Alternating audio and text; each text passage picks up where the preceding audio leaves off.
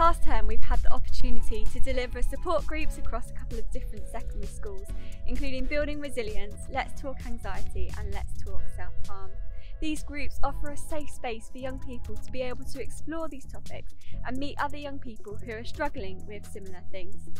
We've also delivered our Year 9 programme called Rise, which looks at relationships, identity, self esteem, and educated choices.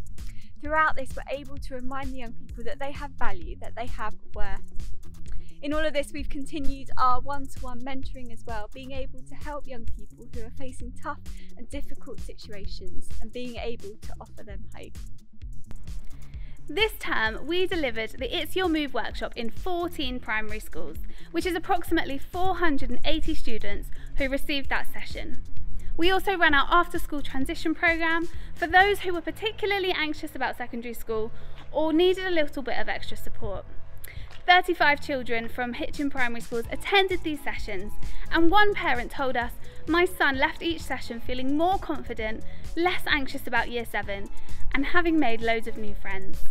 It was amazing to see these children grow in confidence over the sessions and to see them walking around their new secondary schools confidently and happily on transition day.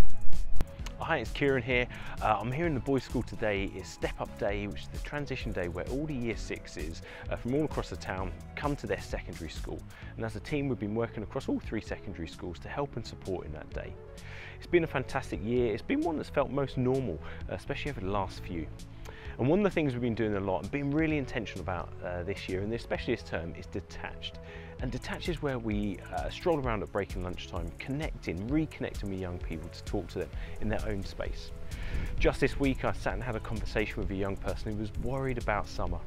They sat and told me about the options and the ideas before them. We talked through it. And at the end of it, as the bell went, they headed off to science, they turned and they said, thank you so much. This space of detached and reconnecting with young people is so key about building their well-being and resilience. I want to say thank you because you make that possible. Uh, so we hope you have a wonderful summer. We wish you all the best and we look forward to sharing more about our plans uh, for next year as Phase Turn 20, uh, not just about how we celebrate that, but all the plans we've got with working with children and young people to build their well-being and resilience to see them thrive. Thank you.